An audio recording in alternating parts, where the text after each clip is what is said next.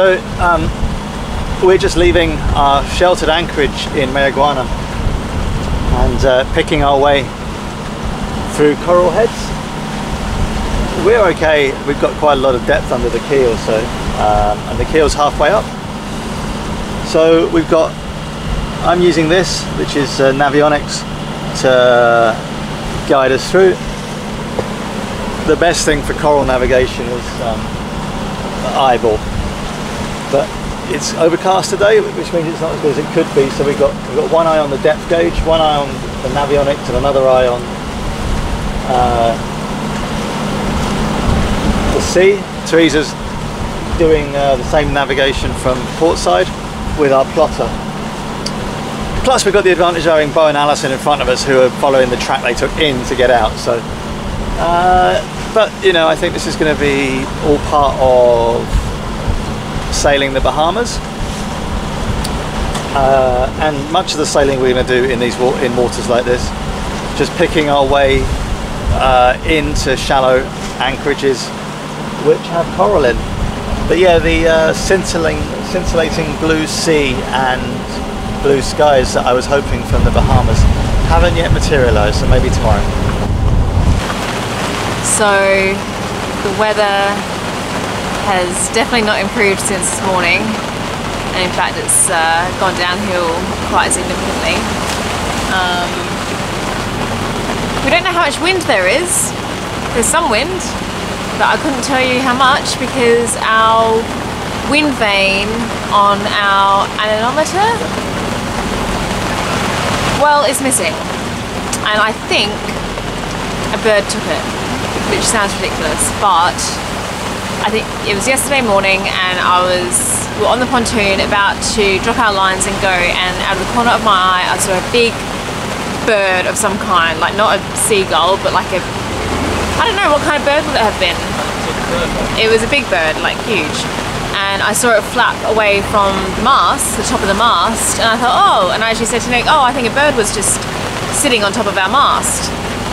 And I don't want to blame the bird but I think that it's fairly likely that it was actually sitting on our wind vane and it's taken it with him because it's now missing.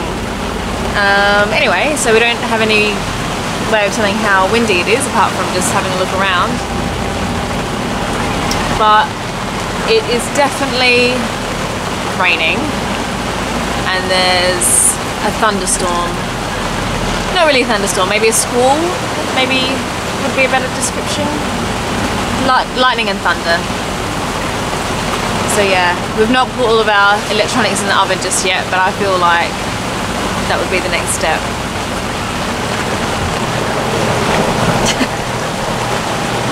you look like an old grandma. I feel like a fucking old grandma. So this is thunderstorm. The orange? Yeah. Ah, there it is storm we're going into. Fuck. yeah. Sorry, bro, say that again. Just felt the burst of cold air, and now the wind's coming out of the south-southwest from this storm. Yeah, we uh, noticed on the radar that it seems to be moving towards us rather than away from us. Yeah, is uh, for me, I, I gotta tinker with my radar because it's just a big red blob. Um, are you gonna try to move to avoid it, or are you just gonna power through? I was thinking of taking a course southwest, going due southwest, and should skirt around it. Nick's thinking about going due southwest to skirt around it, but we don't know which way it's moving. But that said, we don't really know which way it's actually moving. Yeah, that's the tricky part. Yeah, we've just had a wind shift here. That's good. If the wind's going that way, the storm should be going that way. So what do you want to do? Oh, show the wind. Tell The, the wind is going south. The wind's going that way now. The storm's going that way. Yeah. As far as the cloud formations go, it looks like the worst of it's kind of above us and behind us. We need to gybe, my love. Okay, we need to gybe. So um, yeah, I'll chat to you in a sec. Yep, be careful. Ready? Yeah, she eating now, yeah? Yeah. You okay? Yeah. The temperature's dropped about 10 degrees. Alright, listen. Probably best, let's put some life jackets on, babe, come on. Well, despite the fact that I ordered, obviously, 15 knots of warm breeze from the fucking apple quarter and lovely blue turquoise seas, we're basically turning into a fucking thunderstorm. So we can see it on the radar, we can see the lightning hitting the water, and hear the ominous bellow of the Norse thunder gods um, showing their anger. Yeah, what did we ever do to them? And you know, the storm that was there, and it's there is still there, but the big, the more, the mass seems to be there, and it Yeah. wasn't. Yeah. So we're still sailing through it, but the heaviest rain, the biggest, the kind of most electrical clouds are there. But it, you know, obviously it depends on uh, the angle of roll of the boat as the radar spins through. But it's fair to assume that we've got a, a, a- a storm cell just to the north.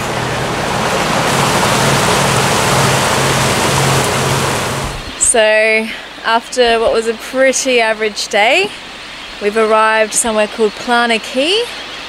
Um, how can I show that to you? I'll show it to you on the uh, Garmin chart app thing later. Um, hey? I don't know. I didn't touch that. I noticed it was missing. I don't know. Um, so yeah, we're here in Plana Cay. It was a 35 mile motor sail today. Um, not very pleasant, but doesn't matter. We're here now, and once again, it's just a beautiful anchorage. I'm amazed. It's just stunning. The sun's come out, the water's crystal clear. There's a little bit of swell, but our boats are kind of just riding over it. We're not rocking or rolling at all. It's so much more comfortable than last night, where there was quite a bit of chop in the anchorage. This is just a little bit of gentle rolly motion, which is actually really nice rather than kind of really crap.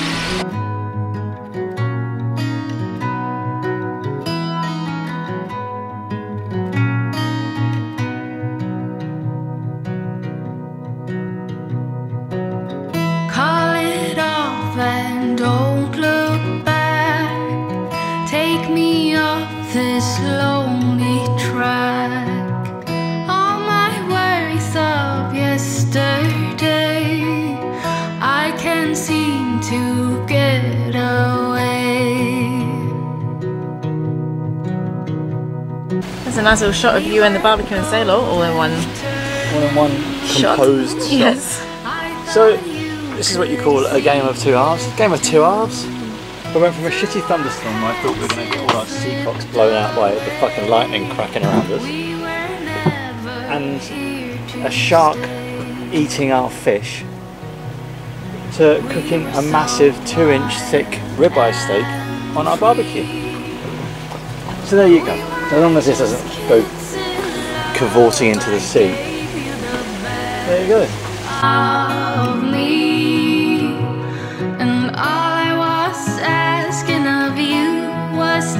Never break it. This is exactly what we signed up for. I don't know what the wind conditions are because our anemometer isn't working, but the wind's probably about, it's just off the beam, um, which is perfect. And I don't know, I'm guessing that it's blowing around, I don't know, 13, 15 knots. And we're going probably about six knots. So, not be better. There's no swirl because we're in the lee of the land. The water's blue, the sky's blue, the sun's shining, we're with our friends. This is the life that I dreamed about when we were living in London. This is what I thought it would be like all the time. I was wrong about that. But when it does happen, it's just perfection. All we need now is some dolphins. And or a fish to eat.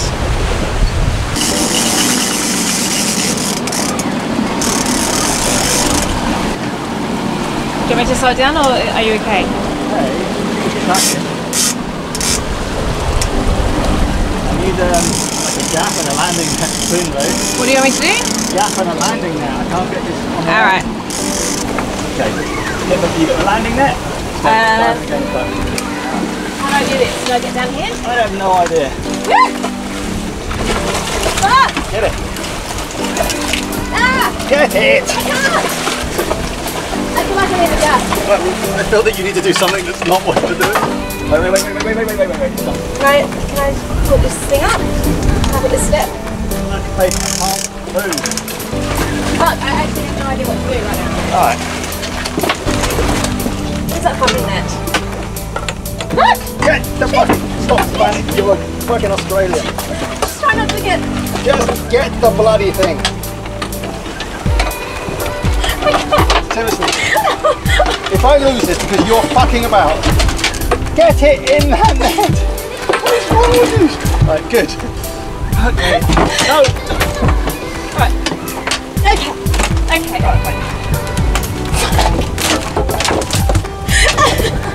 was the worst landing of a fish. this net is not for fishing. It is a fishing net. I know, but it's too small for this. I feel like that was definitely not the way to get a fish onto the boat. Like that was the worst way of doing it ever. We were terrible at that. So before everyone on YouTube was like, that was disgraceful, we are fully aware. I don't know what to do. Maybe you can comment and let me know. Like it was flapping so much that I couldn't I couldn't get it in the net. I think the net was too small and the gaff I couldn't get it gaffed. What we actually did it was like we literally just manhandled handled it. Beat it. Beat it to with our bare hands. And then Nick took to it with a hammer. Hang on. Just to the other side. so his head isn't stoved in.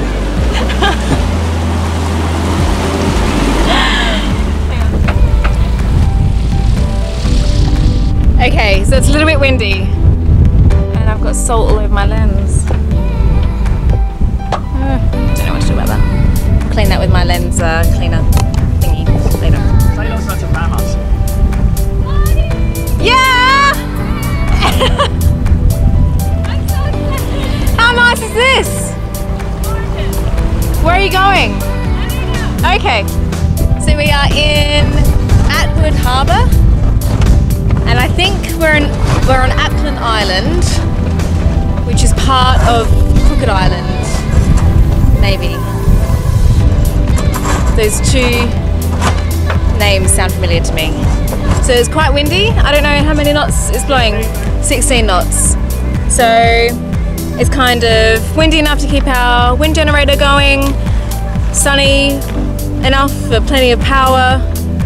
Our batteries are fully charged and I hope that they stay reasonably well charged.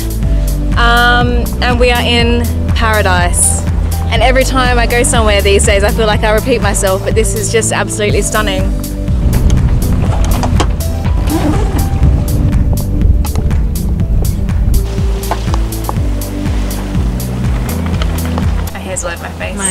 Mine too. Alright, my love. So, our panko, Oh my god. our panko breadcrumbs that we carried for like 3,000 miles now come to use with our the mahi mahi, which we have now turned into panko covered breadcrumbs with panko covered mahi with salsa. How many times can you say panko? Have you got it?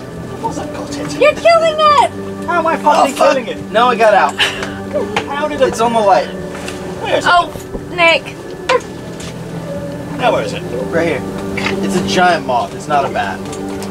It's the biggest moth I've ever seen in my fucking life. What's this fucking gay pride? fucking- Was that your electric fly swatter?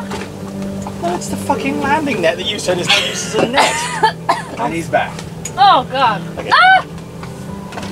Look at it. It's He likes the lights. Yeah, maybe we should turn the light off. All right, well done, David Attenborough.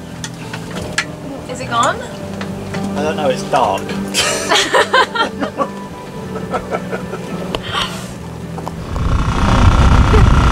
That's a bit too close. Well, anyway, you're about to make landfall in the Bahamas. You have yet to make landfall in the Bahamas. I have not made landfall in the Bahamas. Oh my god! Hence me filming you. I've just realised this. so, something weird. Do you know what? I, I watched all the videos from Culebra. You spend the entire time telling me off. Yeah, that's about right. that sounds about right. So we're on Acklands Island. we are on Atkins Island. Acklands. Acklands? Acklands or Atkins? Acklands Island. Acklands. Acklands. In Atwood Harbour. And It's beautiful. it's just the most amazing thing that I've ever seen, I think. It's just beautiful. last week. Since last time I said that, which was only a few days ago. But yeah, it's just stunning. Let's go and explore. We need to find bread, milk, um, lovely bar chocolate, some Lettuce and beer. tomato. Yeah. Yeah. These are things that are definitely not happening. Alright, come on. Let's go.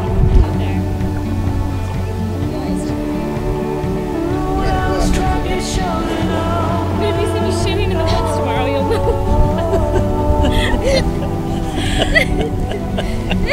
and then he's always like, and I'm cleaning up your shit. And I'm like, that's yours too.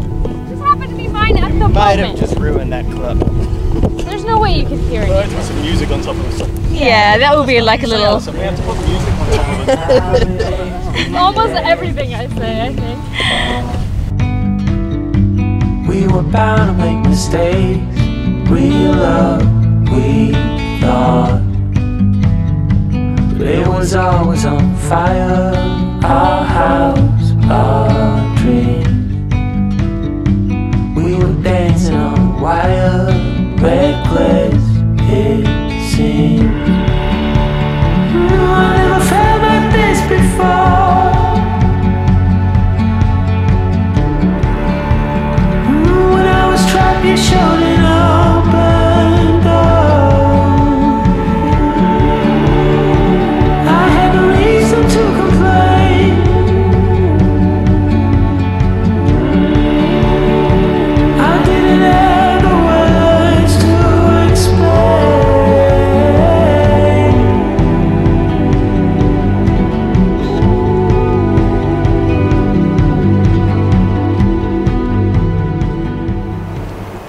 Hello everyone, thank you for watching our episode this week. We really hope that you enjoyed it.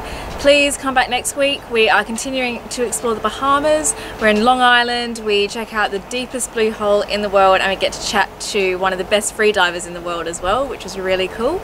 If you like what we're doing, then subscribe here and if you wouldn't mind joining us on Facebook right here, you can keep up to date with all of our comings and goings.